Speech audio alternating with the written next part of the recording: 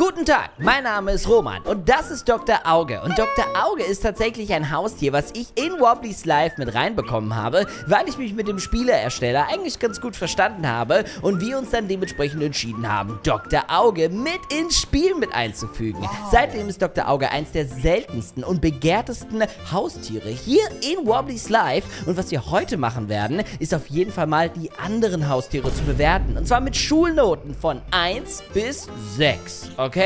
Das heißt, 1 ist natürlich die beste Note, 6 ist selbstverständlich die schlechteste. So wie in der Schule. Man kann Plus und Minus noch geben. Und mit der guten alten Samantha Hallo, ich bin die Samantha. und mit dem guten alten Jürgen Hallo, ich bin der Jürgen. können wir heute gemeinsam ein paar Haustiere bewerten. Wir fangen mal einfach an, und zwar hier an unserem guten alten äh, Igel. Okay, der gute alte Igel ist tatsächlich ein ganz normales Haustier im Wert von 500 Dollar, den man tatsächlich Spike im Spiel nennt. Und wir können ihn dementsprechend auch umfärben, okay? Und zwar können wir ihn tatsächlich sogar genauso wie Sonic blau machen, okay? Das ist schon sehr, sehr cool. In seiner normalen Farbe allerdings ist er einfach braun. Das heißt also, ich äh, ersetze hier mal meine Haustiere, die ich schon mal hatte und äh, habe dann hier einen braunen, nicen Igel, okay? Ich werde die Haustiere in ihrer standardmäßigen Ausstattung natürlich bewerten ne? und selbstverständlich, wie sie laufen, wie sie aussehen und was für eine Interaktion sie haben, ne? weil jedes Haustier hat in Wobbly's Life eine Interaktion. Das heißt, wenn wir hier 3 drücken, ne, dann zeigt er uns seine Animation und, oh, whoop, er kann, wow, ein paar kleine Saltos machen. ne? Ich muss sagen, das ist ein sehr, sehr süßes Haustier. Für 500 Dollar ist das auch gar nicht mal so teuer. Und dementsprechend muss ich sagen, der Igel ist tatsächlich eine gute 2 plus. Wenn man ihn auf eine 1 bekommen möchte, muss man ihn sich einfach nur in blau holen. Und da muss man schon sagen, so sieht er wirklich am krassesten aus. Genauso wie Sonic, wie aus den Filmen. Und der kann dann dementsprechend auch für einen die ganzen Saltos machen. Okay, kommen wir weiter zu unserem nächsten Haustier. Und zwar ist das nämlich ein weißer Hase. Schauen wir uns das Ganze mal an und ersetzen mal hier unseren Sonic und gucken mal, was wir da haben. Der gute Hase ist weiß, kann Türen öffnen und er hoppelt. Und wie er hoppeln kann. Okay, das heißt also, er ist relativ schnell und er kann tatsächlich uns auch hinterher springen, wie ein richtiger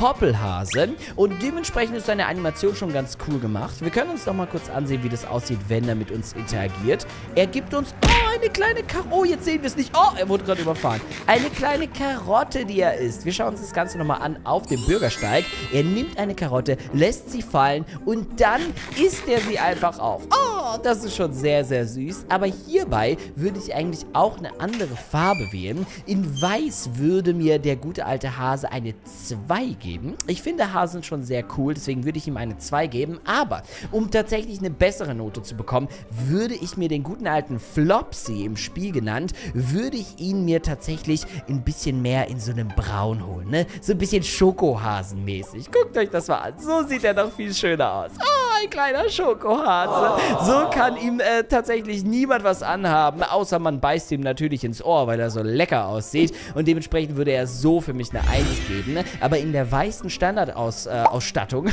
würde ich ihn tatsächlich mit einer 2 bewerten. Hier haben wir zum Beispiel nochmal ein Gem-Haustier. Dafür muss man einige Erfolge tatsächlich machen, ne? die man in einem, in einer Höhle tatsächlich erledigen muss. Alles hat tatsächlich mit Gems zu tun und man muss sein äh, Museum tatsächlich ausstatten, um diesen Gem hier freizuschalten. Ne? Er kostet 750 Dollaronies. Das kostet auf jeden Fall ordentlich was. Wir können ihn nochmal ein bisschen heller einstellen und einfach mal kaufen und schauen, was er so kann.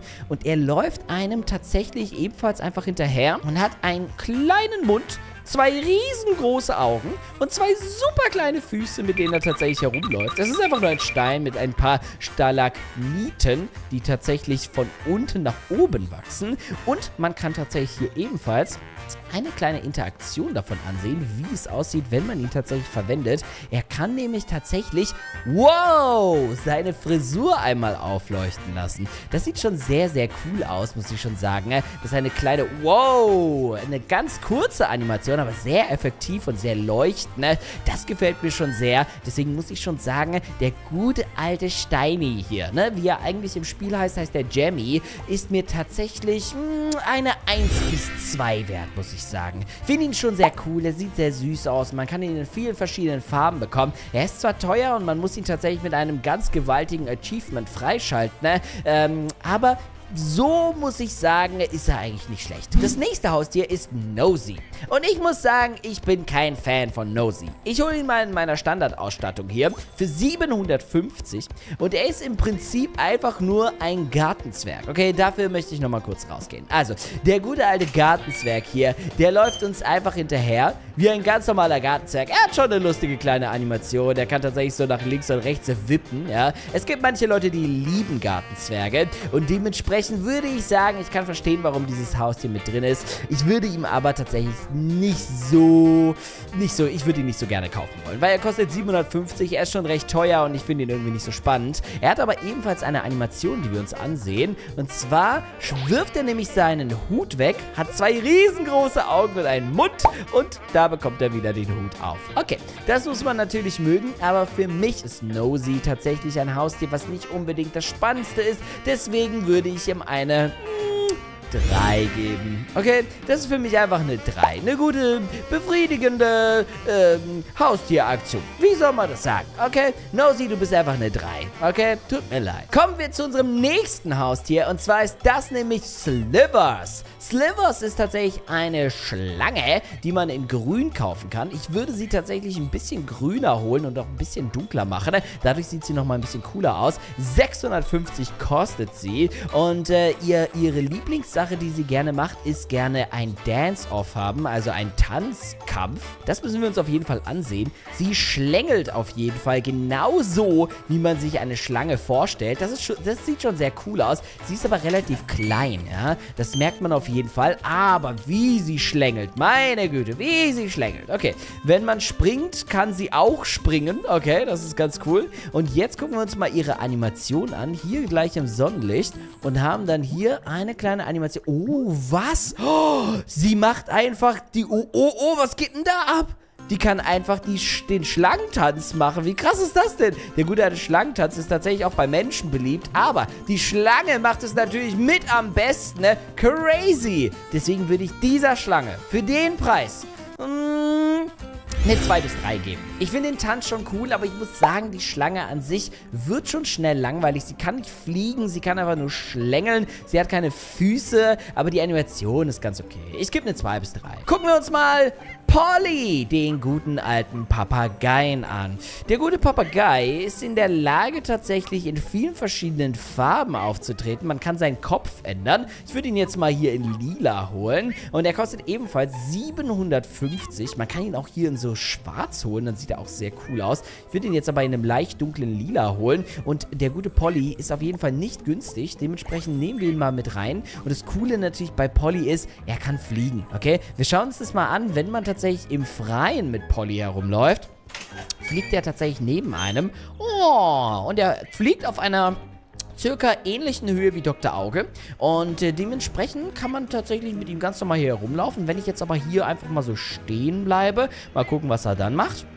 Er fliegt einfach neben uns. Okay, er landet nirgendwo, er bleibt einfach in der Luft sozusagen. Wenn wir uns nicht bewegen, dann schwimmt er immer oder fliegt ein bisschen um uns herum. Er schwimmt wahrscheinlich. Okay, wir drücken mal auf Interagieren und schauen mal an, was er da macht. Er holt sich einen Stock aus der Luft und dann steht er da drauf? Was? Okay, warte mal. Wenn wir jetzt zum Beispiel an einem, äh, an einer Wand sind und dann vielleicht interagieren. Nee, holt er sich einfach diesen Stock und dann steht er damit in der... Uh, okay. Ich muss sagen, das finde ich schwach. Weil ich hätte gewollt, dass da vielleicht so ein kleiner Baum oder sowas rauswächst, damit er nicht einfach in der Luft steht, sondern dass da vielleicht ein Baum aus dem Boden rauswächst. Dann wäre das eine coole Animation gewesen. Aber so, dieser Stock aus der Luft, naja. Ich würde Polly hierfür, für einen Preis von 750 Wobbly Dollar, würde ich ihm, glaube ich, nur... Hm, eine 4 geben. Sorry an alle Polly-Fans da draußen, aber für 750 Dollar gibt es einige coolere Haustiere. Wie zum Beispiel eine Katze. Und tatsächlich haben wir hier eine wunderbare Katze, die wir vielleicht sogar in schwarz holen können. Ich muss ganz ehrlich sagen, Fluffy die Katze klingt für mich auf jeden Fall sehr interessant. Man kann dementsprechend das Halsband leider nicht ändern. Das heißt, man kann nur die Farbe der Katze ändern. Und Lars hat sich ja mal eine Katze gekauft gehabt und soweit ich weiß, war er nicht so sehr zufrieden damit, weil die Katze wirklich nicht so viel konnte. Aber wir schauen mal. Okay, hier haben wir die Katze. Sie ist sehr klein, sehr puschelig und ich muss schon sagen, zu unserem Look heute passt sie schon eigentlich ganz gut dazu. Sie ist eine kleine, nette Katze, hat rote Augen und lila Tatzen, ist tatsächlich damit beschäftigt, die ganze Zeit um uns herum zu laufen und tatsächlich immer mal wieder ihre Tatze abzuschlecken. Und ähm, dementsprechend gucken wir uns mal nochmal die Animation an. Sie wirft ein paar kleine Herzen und dann legt sie sich hin. Okay. Sie macht schon genau das, was man von der Katze erwartet. Deswegen muss ich sagen, sie ist eine ganz normale 3. Ganz normales Mittelfeld. Ich mag Katzen, ich bin Katzenfan, aber ich muss schon sagen, für den Preis, ne? Für den Preis gibt es schon bessere Haustiere. Scruffy. Wir gucken mal, ob Scruffy vielleicht mehr kann. Und wir können auch mit ihm interagieren. Was macht er? Er rennt einfach... Uh! Scruffy ist genauso wie die Katze. Und nicht so gut animiert, muss ich sagen, auch vom Laufen her. Und wenn wir da jetzt interagieren nochmal mit ihm, läuft er nur einmal im Kreis. Leute, das ist leider eine 5. Das ist leider eine 5, tut mir leid. Ich weiß, es, ne, ein Hund hätte so viel mehr machen können. Ein Hund hätte Platz, Sitz, äh, vielleicht Pfötchen geben können oder irgendwas, aber er rennt einfach nur zweimal im Kreis. Nee. So, kommen wir mal hier zu einem kleinen, guten Freund, und zwar Spark. Spark ist tatsächlich ein sehr, sehr krasses Haustier, muss man schon sagen. Man kann ihn in vielen verschiedenen Farben holen. Er ist tatsächlich in vielen verschiedenen Farben erhältlich. Wir holen ihn jetzt einfach mal in grün. Kostet 1000 und er ist schon nice, muss man schon sagen. Spark ist ein sehr cooles Haustier. Muss man tatsächlich ebenfalls freischalten. Ich glaube, man konnte ihn freischalten im Atomkraftwerk, soweit ich mich erinnere. Und er sieht sehr, sehr krass aus. Er ist relativ leicht auch freizuschalten. Ne? Ähm, falls ihr das Video dazu sehen wollt, schaut auf jeden Fall bei mir auf dem Channel das Video an, wie ich mit Lars dieses Haustier freigeschaltet habe. Es ist auf jeden Fall sehr, sehr nice. Es ist einfach nur ein statisches Elektrohaustier und man kann es ebenfalls mit einer Interaktion starten ne? Und da bekommt es dann... Oh, eine Steckdose. Oh, was? Und es lädt sich auf und dann explodiert es einfach. Wow, das ist eine sehr, sehr coole Animation. Das ist für mich auf jeden Fall eine 1, Leute. Das ist einfach eine glatte 1. Sehr hübsches Design, sehr coole Animation. Gefällt mir wirklich sehr. Und zwar haben wir nämlich hier einen besonderen Bubbles. Und der gute alte Bubbles ist in der Lage, erstmal eine andere Farbe anzunehmen. Den holen wir ganz bestimmt in Orange. 600 Dollar für einen Fisch mit ein paar Rollen, der einem hinterherrollt. Schon nicht schlecht. Er kann auch springen. Er hat jetzt nicht unbedingt eine besondere Animation, weil er rollt einfach nur, er dreht sich nicht, gar nichts. Er schwimmt halt im Wasser währenddessen. Und starten mal hier eine Animation. Uiuiuiui.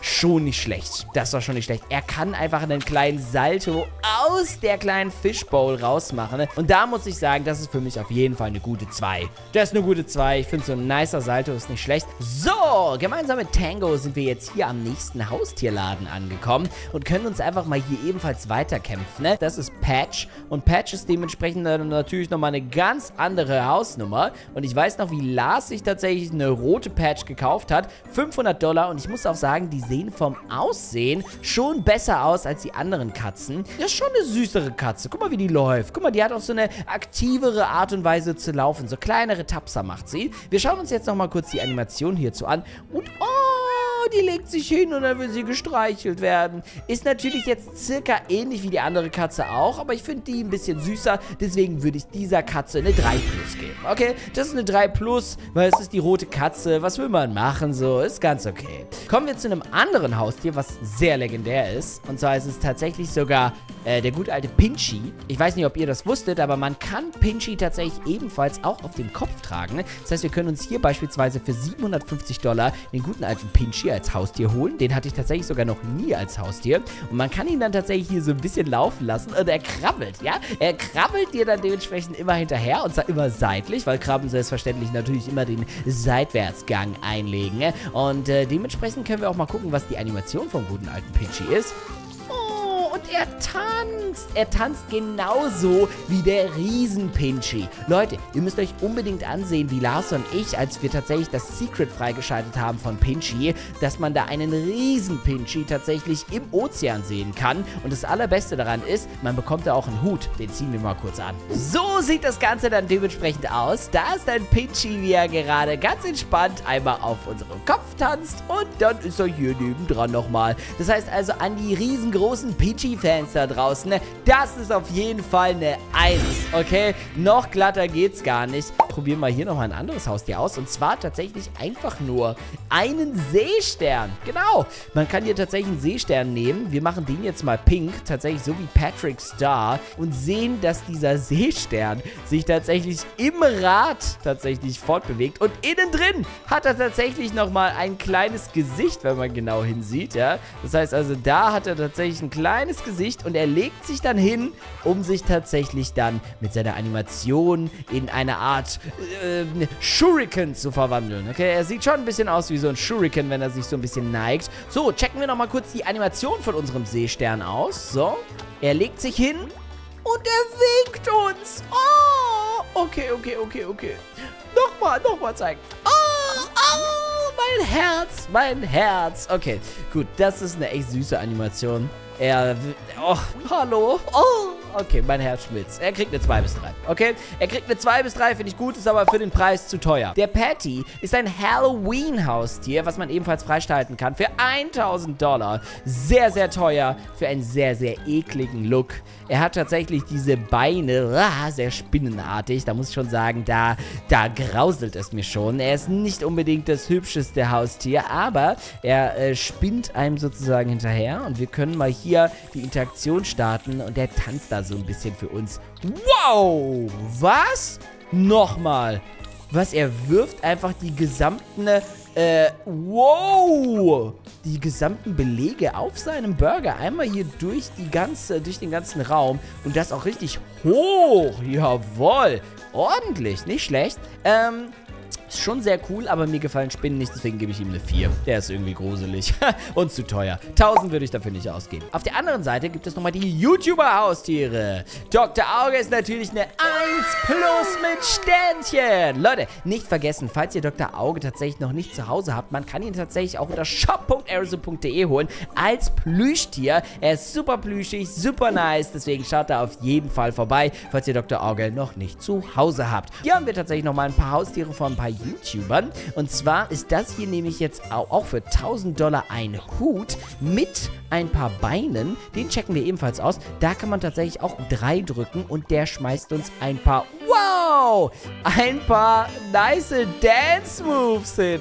Sehr, sehr cool, muss ich schon sagen. Das heißt also, der kann da ebenfalls einen kleinen Stepptanz hinlegen. Sehr, sehr, sehr nice. Okay, cool, cool, cool. Das ist auf jeden Fall eine gute 2 Plus. Den Tanz fand ich sehr nice und es ist auch sehr witzig, dass es einfach nur ein laufender Hut ist. Dann haben wir hier tatsächlich nochmal einen Ninja, Lil C. Das ist wie so eine Art kleiner Ninja mit so einem Ninja-Schwert und so zwei cooler Augen und einem Headset auf. Man kann ihn ebenfalls interagieren lassen und dann nimmt er ein Ninja-Schwert und wow, wow, macht ein kleines Kunststück. Nicht schlecht, aber ich finde ihn nicht so spannend, muss ich ganz ehrlich sagen. Und würde ihm deswegen eine 2 bis 3 geben. Eine 2 bis 3. Ist, glaube ich, ein ganz guter Wert. Gehen wir mal weiter und haben hier nochmal ein weiteres Haustier. Und zwar haben wir nämlich hier ein Haustier, was man freischalten muss, indem man an die ähm, Windmühlen sozusagen geht oder an diese Windräder in Wobbly's Life. Da kann man dieses Haustier finden, ne? Und äh, ist sehr, sehr grün, sehr, sehr nice, hat riesengroße Augen und auch so eine Zunge, die raushängt. Sehr, sehr cool. Da können wir auch mal drei drücken und schauen mal. Uh, yeah, was macht er? Oh mein Gott, was? Der kann einfach so einen Zungenhandstand machen. Oh, das finde ich schon sehr cool. Ja! Oh, sehr cool. Ist auf jeden Fall eine 2 Plus von meiner Seite aus. Sehr, sehr cooles Haus hier. Gefällt mir sehr. Gehen wir mal weiter. Das ist nämlich Flipper. Der gute Flipper ist tatsächlich ein Pinguin und er läuft tatsächlich ganz normal. Er watschelt uns hinterher. Das finde ich nicht so nice. Ich hätte es cooler gefunden, hätte er uns vielleicht auf dem Bauch sozusagen äh, hinterher geschlittert. Und dementsprechend aktivieren wir dem seine Animation. Oh, Ganz schwach. Oh. Okay, das ist leider die 6. Das ist die 6 leider. Tut mir leid, Leute. Das ist das schlechteste Haustier. Es ist, er, er, er, er, er macht gar nichts. Er, er, er watschelt nur hinterher und das nicht wirklich seinem Tempo entsprechend. Ich finde, das Hinterherlaufen sieht gar nicht gut aus. Er sieht aus wie ein laufender Bowling-Pin, okay? Und seine Animation ist einfach nur zweimal springen. Ah, das ist die 6. Tut mir leid. Der Geist ist ebenfalls sehr schwer freizuschalten. Ne? Dafür braucht man verschiedenste Kugeln, die man tatsächlich in Wobblies Live holen muss. Dazu haben wir auch schon ein Video abgedreht. Und er ist mit 1200 Dollar schon sehr, sehr teuer. Dementsprechend können wir ihn aber auch in verschiedenen Farben konfigurieren. Disco Geist! Er fliegt uns tatsächlich hinterher wie ein ganz normaler Geist. Er ist einfach nur ein weißer Laken, der einfach nur so ein bisschen herumschwirrt. Und wir können ihn tatsächlich ebenfalls mit einer Animation wieder wieder aktivieren. Das heißt, da macht er dann Buh. Och, wow, wie süß. Er macht ebenfalls einen Salto und er sagt Buh. Oh, das ist ja cool. Okay, das finde ich schon sehr cool. Er ist aber sehr, sehr teuer für das, was er ist. Er schwebt. Er ist relativ simpel wie ein ganz normaler Geist. Ich würde ihm eine... 2 Plus geben. Er ist eine 2 Plus, muss man schon ganz ehrlich zugeben. Er macht dieses Boo. Er hätte aber auch so ein bisschen unsichtbar werden können vielleicht. Das wäre cooler gewesen, wenn er vielleicht unsichtbar werden würde. Dann würde er kurz verschwinden und dann macht er Boo. Und das wäre die 1 gewesen. Hier haben wir tatsächlich eins der ekligsten Haustiere. Und zwar ist das nämlich Slimy bzw. Sludge. Und der sieht sehr, sehr eklig aus. Also wenn man sich das mal ansieht, ich muss sagen, ich bin da kein Fan von. Er hat wirklich ganz schlimme Zähne, ganz schlimme Augen und sein gesamtes Erscheinen Schneiden ist schlimm. Wenn wir jetzt seine Animation abspielen, was bekommen wir da? Was bekommen wir bei der Animation? Oh, er kotzt auf den Boden. Oh, aber es ist nicht schlechte Animation für ihn. Ich muss ihn ja nach seinen Gegebenheiten dementsprechend bewerten. Deswegen würde ich sagen, die Animation ist sehr, sehr beeindruckend, sehr cool. Deswegen würde ich einfach mal sagen, er kriegt von mir eine 2 bis 3. Ich finde ihn einfach nicht gut. Ich muss sagen, äh, für 1200 Dollar gibt es deutlich bessere Haustiere, die man kaufen kann. Eine, ein Hühnchen. Dann haben wir hier so ein kleines graues Hühnchen für 500 Dollar. Und das, ähm, ja, huhnt einem halt eben so hinterher, wie das so ein Huhn halt einfach macht. Und hat eine Animation. Auch, oh, eine kleine Fluganimation. Sehr kurz. Sehr langweilig auch. Leider, das ist eine 4. Leider ist es eine 4. Die Animation an sich ist nicht schlecht so, aber er ist nicht wirklich spannend. Da könnte man theoretischerweise auch Hector holen. Ich glaube aber, Hector an sich hat jetzt einfach nur diesen Zylinder und diesen, äh...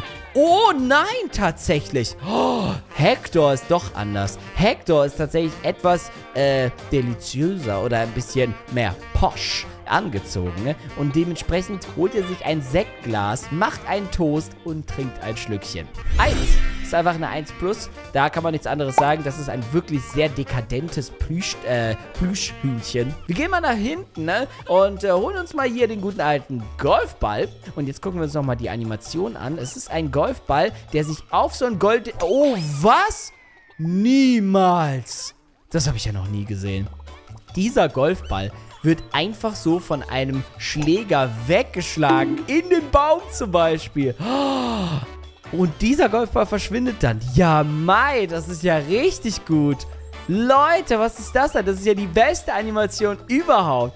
Blub, und dann wird er da weggeschlagen. 1 plus, 1 plus, Leute. Besser geht's kaum. Also das ist wirklich richtig, richtig Nice. Den Dino muss man übrigens auch, glaube ich, freischalten. Das war, glaube ich, im Dschungel oder so. Stumpy heißt der Gute. Boom, haben wir hier einen roten Dino. Und äh, der ist tatsächlich ebenfalls in der Lage, langsam so zu stampfen. Der stampft einem so ein bisschen hinterher, so ein bisschen Bock auf Fleisch. Das sieht man ihm schon an. Und dementsprechend haben wir hier eine gute alte Dino-Partie. Benutzen wir mal die Interaktion und gucken nach links, nach rechts. Und was macht er dann? Er holt ein... Oh, er legt ein Ei. Und dann verbuddelt er es dann. Oh, nicht schlecht. Okay, schade, dass aus dem Ei nichts schlüpft. Er holt einfach nur das Ei raus, guckt es kurz an und dann vergräbt er es wieder. Schon gut. 2 plus. Das ist eine 2 plus. Muss ich schon sagen, sehr süß. Aber 1000 Dollar für dieses Haustier? Ich weiß ja nicht. Das letzte Haustier ist Buzz. Und das kann man sich tatsächlich hier in Gelb holen. Und das ist eine kleine Biene. Und ich bin allergisch gegen Bienen, deswegen äh, habe ich da schon eine kleine Voreinstellung gegenüber diesem Haustier. Aber wir verwenden es mal und bemerken, uh, es fliegt einfach nur ein Salto. Für 750 Dollar. Okay, wenn man Bienen mag, kann man dieses Haustier nehmen, aber ich mag keine Bienen. Und ich finde die Animation schlecht, deswegen würde ich hier eine 5 geben. das ist ein bisschen hart bewertet, ich weiß, aber das ist natürlich nicht so schlimm. Okay, Leute, das waren die heutigen Haustiere. Nicht vergessen, unter shop.airzo.de vorbeizusehen, um euch euren eigenen Doktorauge auch für zu Hause zu holen. Tatsächlich das beste Haustier, was man sich überhaupt nur holen kann. Mein persönlicher Favorit, selbstverständlich. Und wir sehen uns auf jeden Fall in der nächsten Folge wieder. Gebt einen Daumen nach oben auf dieses Video. Wir sehen uns. Haut rein, Leute. Und ciao.